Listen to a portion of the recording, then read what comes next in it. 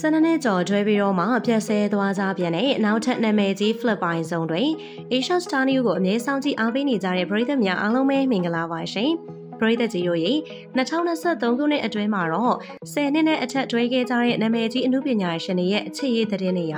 အကောင်းအဆိုးတလဲစီနဲ့ကိုဖြစ်ပေါ်နေတာပါ14နှစ်ကျော်ကြာတွဲခဲ့ကြတဲ့အဆိုတော်နေဝင်းတို့စုံတွေကပေါင်းဖက်သွားသလို73နှစ်ကျော်ကြာတွဲခဲ့တဲ့အဆိုတော်လွမ်းပိုင်တို့အတွဲကလမ်းခွဲအဆုံးသတ်သွားသလိုပါပဲ။ Catherine Bernardo နဲ့ Daniel Padilla တို့ရဲ့ချစ်သူသက်တမ်း17နှစ်ကျော်ပြီးတော့မှလမ်းခွဲသွားကြသလိုနောက်ထပ် Philippine နာမည်ကြီးအမှုပညာဇုံတွေတွေကလည်း12နှစ်ကျော်ကြာအချစ်ရေးကိုအဆုံးသတ်ပြီးတော့ရန်နာထားလိုက်ပါပြီ။ Philippine မင်းသမီးကျော်လေးခင်ချူနဲ့မင်းသားကျော်ရှန်လင်းတို့ကချစ်သူသက်တမ်း12နှစ်ပြည့်လို့နေပါဖြစ်ခါနေတော့မှလမ်းခွဲခဲ့ကြပြန်ပါတယ်။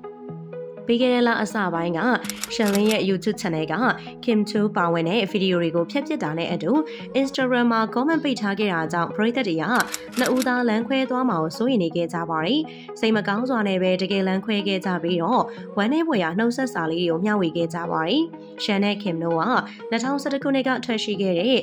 My Penetrol Girl လို့အမည်ရတဲ့အချစ်ဟာသာဇလန်တွဲမှာဆိုရင်တော့အတူတူတွဲဖက်ပြီးတော့တရုပ်ဆောင်ခဲ့ပြီးတဲ့နောက်ချစ်ကြိုက်ခဲ့ကြတာပါ။နှစ်ဦးသားက2012ခုနှစ်ကစတင်တွဲခဲ့ကြတာဖြစ်ပေမဲ့2018ခုနှစ်ရောက်မှသာတရားဝင်ထုတ်ဖော်ကြေညာခဲ့တာပါ။နှစ်ယောက်အတူ Brettle Red Ocean, Mastage at Playboy Ocean နဲ့ All You Need Is Pet အဲရုပ်ရှင်တို့မှာအတူတူတွဲဖက်ပြီးတော့သရုပ်ဆောင်ခဲ့ပါတယ်။လမ်းခွဲပြီးရနောက်မှာ Kim ကသူမရဲ့ Instagram ကနေပရိသတ်တီကိုလမ်းခွဲပြီးကြောင်းအသိပေးရင်းနဲ့သူမနဲ့ Shan တို့ရဲ့ကိုရေးကိုရာကိစ္စတွေကိုနားလည်ပေးကြဖို့တင်ထားခဲ့ပါတယ်။အခြေရေးတစ်ခုမှာတခါတရံအချစ်တစ်ခုတည်းနဲ့မလုံလောက်ကြောင်းပြောပြလာခဲ့သလိုနောက်ထပ်လည်းသူမရဲ့ရီစာဟောင်းလေးရှင်ကိုရည်ရွယ်ပြီးတော့စနေနေ့နီးပါးကာလအတွင်းလှပလုံးနဲ့ပျော်စရာမတ်တရားတွေအားလုံးအတွက်ကျေးဇူးတင်ကြောင်းရေသူမရဲ့နှလုံးသားထဲမှာရှန်ကအမြဲနေရာတနေရာရှိနေမှာဖြစ်ကြောင်းနဲ့အချစ်ဆိုတာကိုတီးခွင့်ရအောင်ပြသပေးခဲ့တာကျေးဇူးတင်ကြောင်းရေးသားထားခဲ့ပါတယ်။မင်းသားရှန်လင်းကလည်း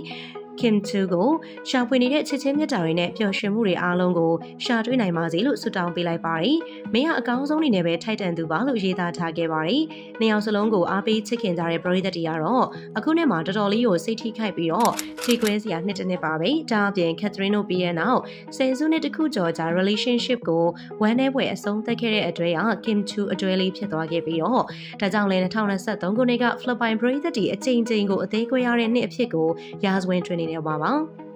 ပရိသတ်ကြီးရေဒီနေ့မှာတော့12နှစ်ကျော်တွဲပြီးတော့မှပြည့်စဲသွားကြတဲ့နောက်ထပ်နာမည်ကြီး flip ပိုင်းစုံတွဲလေးရဲ့အကြောင်းမိတ်ဆက်ပေးခဲ့တာဖြစ်ပါတယ်။နောက်နေ့ဒီမှာလည်းအာရှတခွင်ကအမှုပညာရှင်တွေရဲ့သတင်းတွေကိုစူးစမ်းတင်ဆက်ပေးသွားအောင်ပါမို့ Asia Star News page လေးကိုတော့ like and follow ပြုလုပ်ပေးကြပါအောင်နော်။မင်္ဂလာရှိတဲ့နေ့ရက်လေးအားလုံးပဲပိုင်ဆိုင်သွားနိုင်ကြပါစေရှင်။